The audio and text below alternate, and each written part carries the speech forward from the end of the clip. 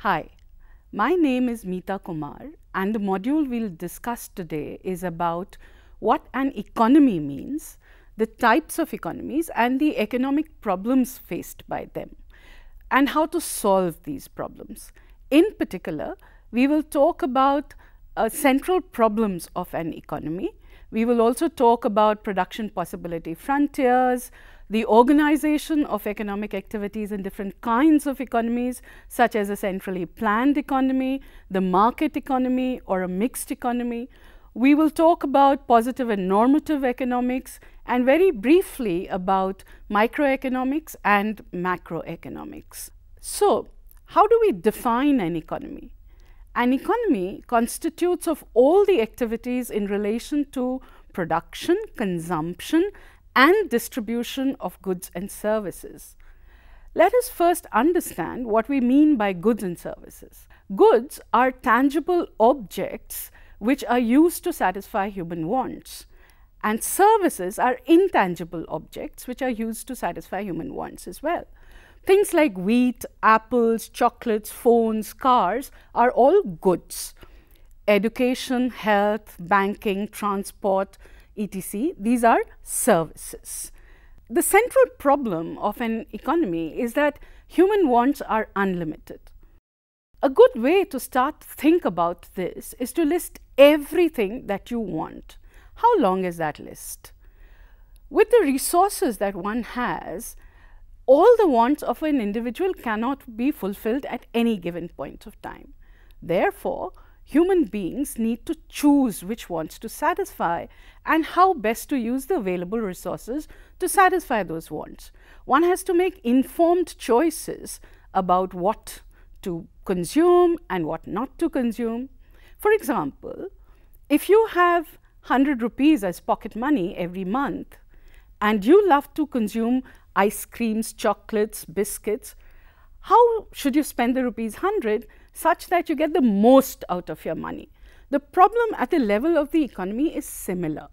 Any nation has a limited amount of resources land, labor, forest, minerals, water, machines and factories, all these are limited. A nation therefore needs to decide on how to allocate these resources towards the production of different goods and services so that its citizens are best off. Of course, things are much more complicated at the level of the nation. It is much more difficult to decide what makes a nation better off or best off and much easier to decide what makes you best off. Basic problems arise because human wants are unlimited and resources are limited. Thus, Lionel Robbins, the famous British economist in the early 20th century, defined economics as a science that studies human behavior as a relationship between unlimited wants and limited resources which have alternative uses. The limits on resources and their alternative uses gives rise to the problem of what to produce and in what quantities to produce. What if resources were unlimited? Obviously, then the problem of what to produce or in what quantities to produce would not arise. Why?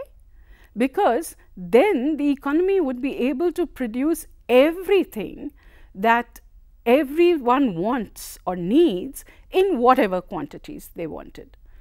But since the resources are limited, the economy has to decide to produce certain commodities in limited quantities. So, consider a farmer who has a plot of land. He decides to grow wheat on this plot of land. Then, he cannot use the same plot of land to grow potatoes or tomatoes, can he? Nor can he build his house in on the same plot of land. So, since resources are scarce, the farmer has to choose how best to use his land.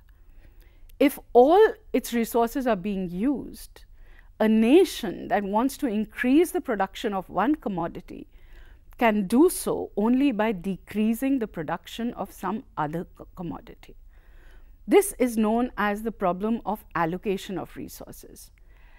Another question which an, any economy faces is how to produce. So, should a farmer plow the land using a pair of bullocks or should he use a tractor? Should he use chemical fertilizers bought from the market or should he use manure from the cattle he owns? This is the question which is concerned with the techniques to be used. At any given point of time, the technology that's available to a nation is fixed. Typically, we think of technology as a set of techniques. A technique, very simply put, is the ratio in which inputs are combined to get an output. For example, cloth may be woven by a power loom or by a hand loom. Similarly, water to irrigate a field can be drawn from a well by a pair of bullocks or by a motor. In the case of production using hand looms and bullocks, we are using what we call labor intensive techniques. This technique use more labor per unit capital relative to other techniques. In the case of production using power looms and motors, we are using a capital intensive technique. The choice between different methods to be used uh, for production depends on the availability of these inputs and their prices. Generally, prices are lower for those inputs which are available in abundance. Therefore, developing countries which have large populations are relatively more inclined to using labor intensive techniques of production.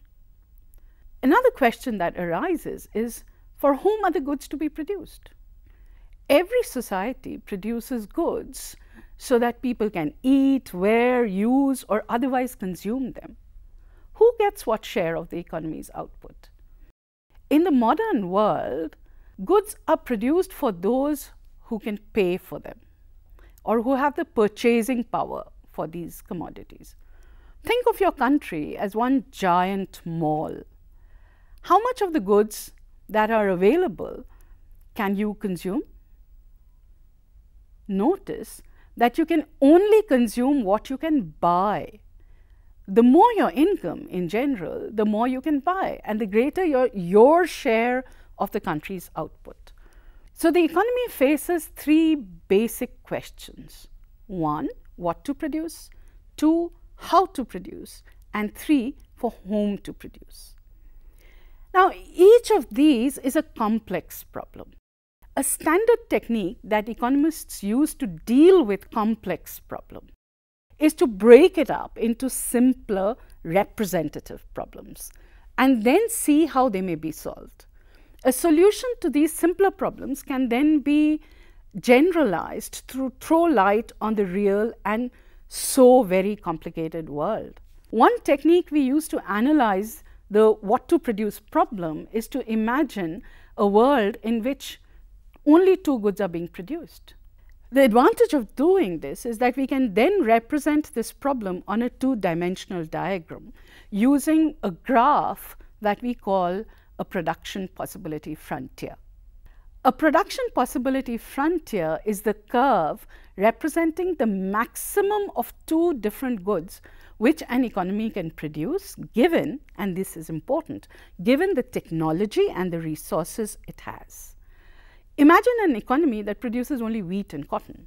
The given resources are land and labor, and with these given resources, this country can produce either 22 bales of cotton and no wheat, which is point A on figure 1, or 5 tons of wheat and no cotton, which is point C on the same figure, or a combination of both wheat and cotton that lie on the blue curve, such as point B.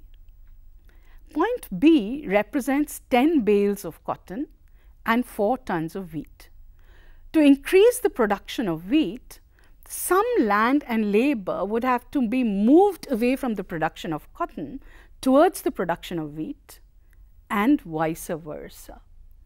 Thus, any point on the PPF is the maximum that an economy can produce given technology and given the amounts of land and labor that it has.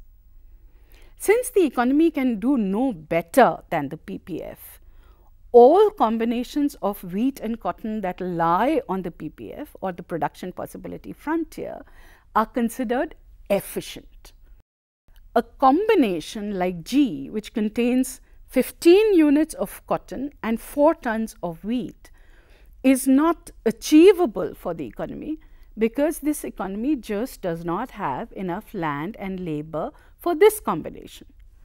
On the other hand, a point like H, which contains 15 bales of cotton and 2 tons of wheat is achievable, but leaves some resources unused. It is possible with the existing land and labor and technology to increase the production uh, of either wheat or cotton or both from H. Such a combination is therefore considered inefficient. This production possibility curve is also known as a transformation curve as it describes how one good transforms into another by moving resources from the production of one to the other. Ideally, an economy can solve the problem of what to produce by choosing the point on its PPF that makes its citizens best off.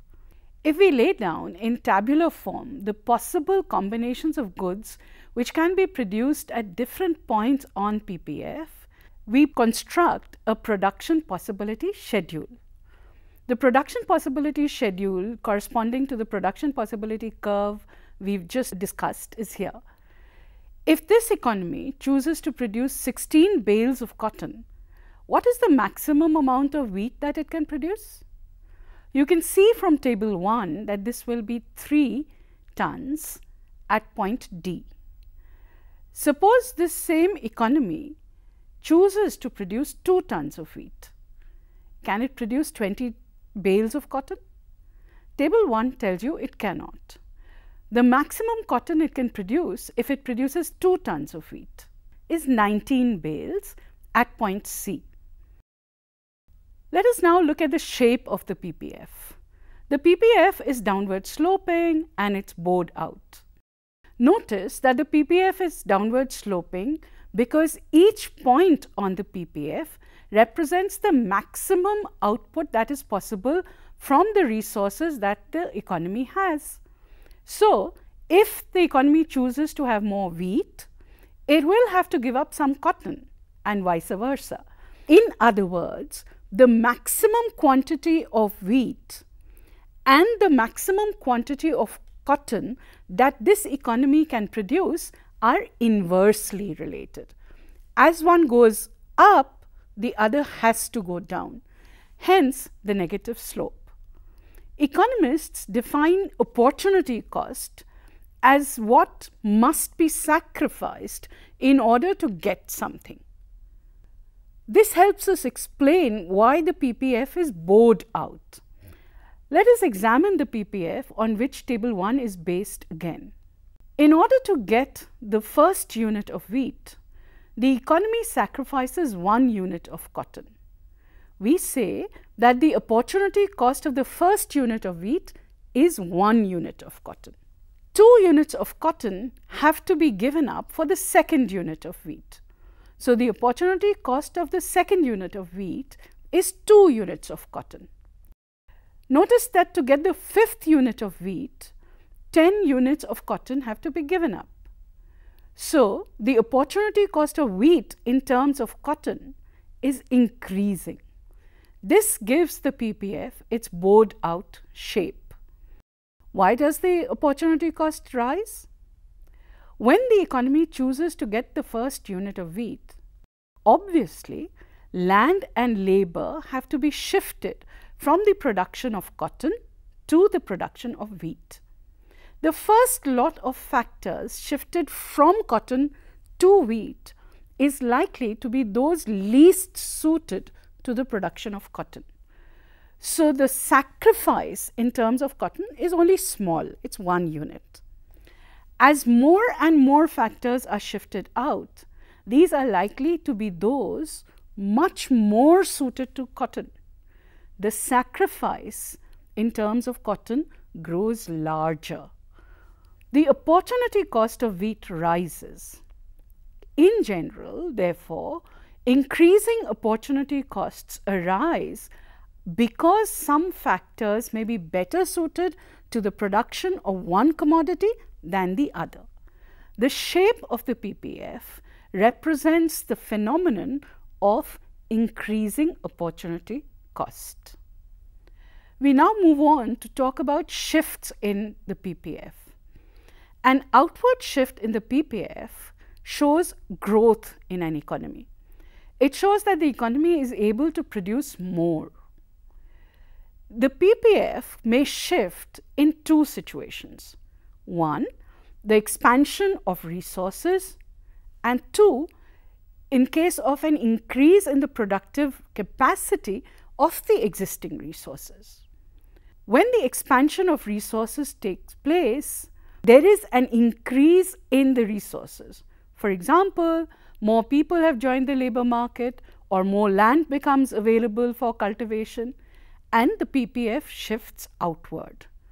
Increases in productive capacity of existing resources, the productive capacity of existing resources may expand due to improvements in technology, education, training of the human resources, etc. In this case also, the PPF may shift outwards.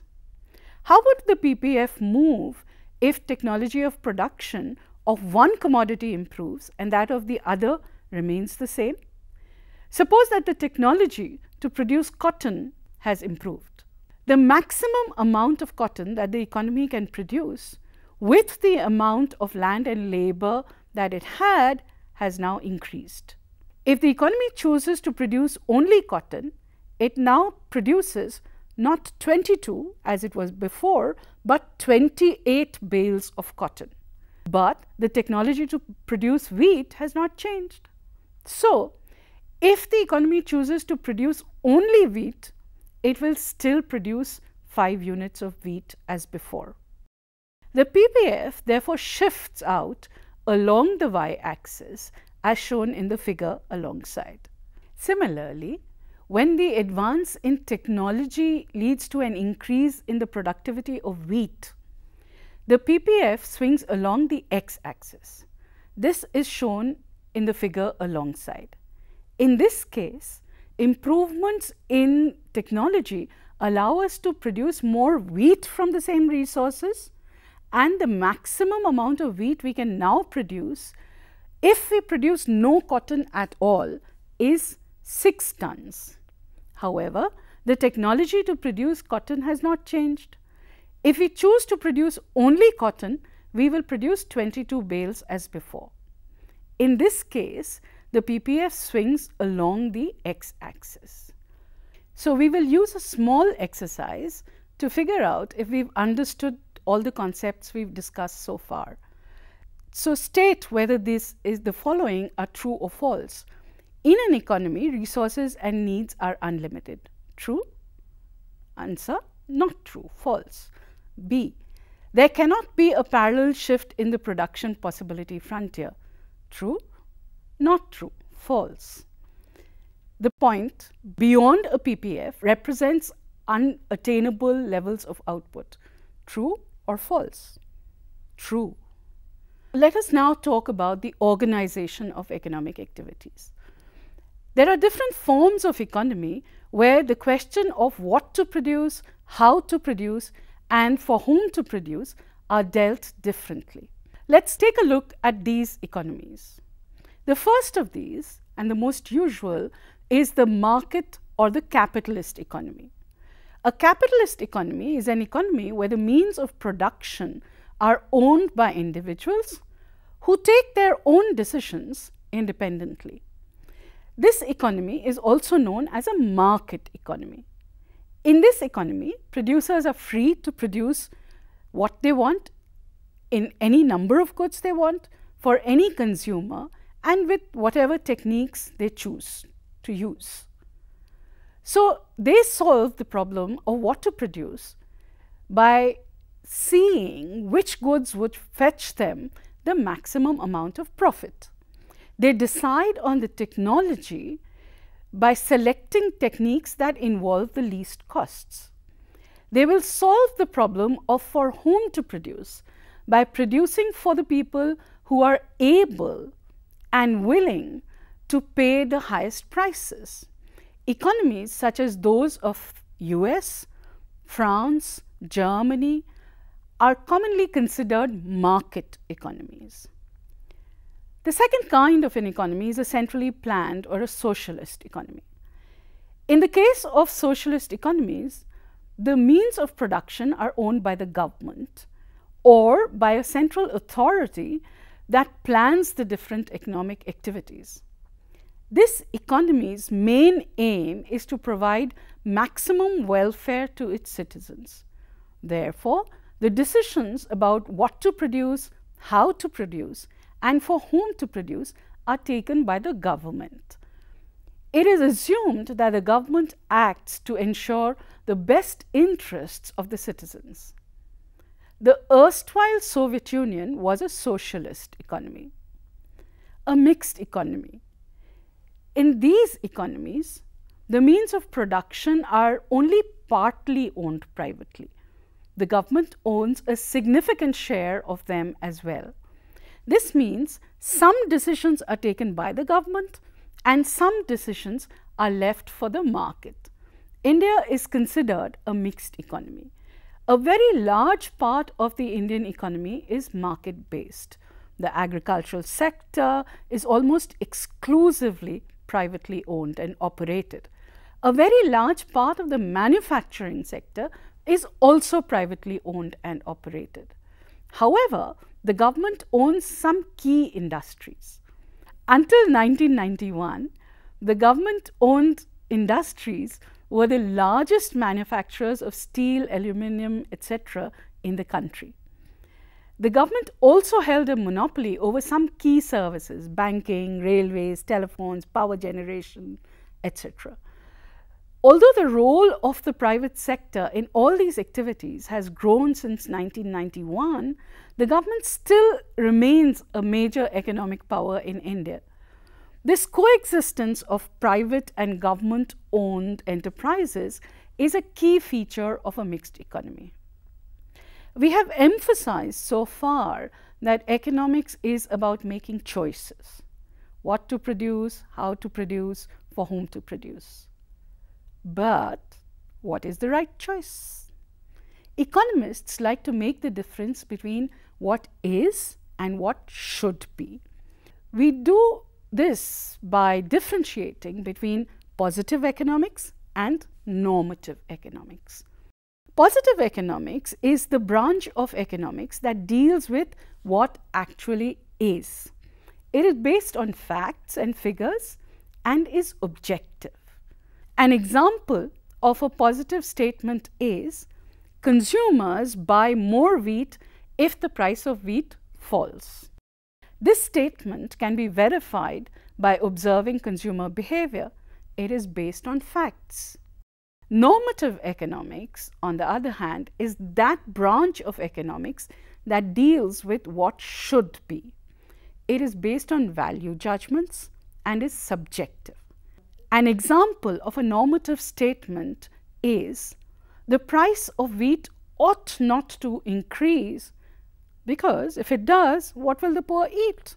Economists like to deal mainly with positive statements. Positive statements, in fact, can go a long way to help us take or give up a normative stand. Let us re examine the question of wheat prices. We can draw up a list of positive questions that help us decide whether or not the price of wheat should go up. 1. Are any of the poor wheat sellers? In other words, are small farmers producing and selling wheat? In that case, they may actually benefit if the price of wheat goes up. They will get higher revenues from selling whatever they produce. And in that case, we may actually favor an increase in wheat prices. Two, do the poor eat wheat mainly or do they eat something else? for example, rice or bajra or jowar or ragi. In this case, the price of wheat may not matter so much to the poor as much as the price of rice, bajra, jowar or ragi would. And in this case, we may be less concerned with wheat prices than those of these other products, rice, bajra, jowar and ragi. The study of economics is also divided into two broad fields, microeconomics and macroeconomics. Microeconomics deals with the study of individual units as consumers and producers. Microeconomics looks at how consumers make their decisions to consume and how producers make their decisions to produce. It also examines how the decisions of individual agents are coordinated by the market. Macroeconomics, on the other hand, deals with aggregate measures of the economy. That is, it looks at the economic behavior of the whole economy.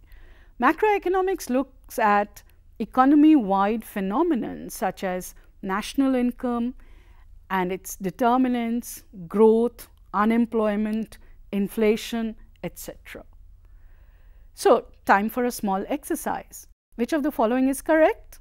Microeconomics is concerned with the problems of what, how and for whom to produce. Macroeconomics is concerned with the individual decision making units?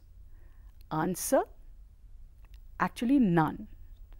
To summarize what we've discussed in this module, every economy faces the problem of what to produce, how to produce and for whom to produce. The production possibility frontier is a simple graphical representation of the choices facing an economy. Given the limited resources of the nation, an economy operating on its production possibility frontier is using its resources efficiently. The shape of the PPF represents the phenomenon of increasing opportunity cost and growth of the economy can be represented through shifts in the production possibility frontier. Different types of economies solve the problems of what to produce, how to produce and for whom to produce differently depending on who owns the means of production. Broadly, the study of economics is divided into two fields, microeconomics and macroeconomics. We shall discuss all these concepts in more detail in the modules that follow. Thank you.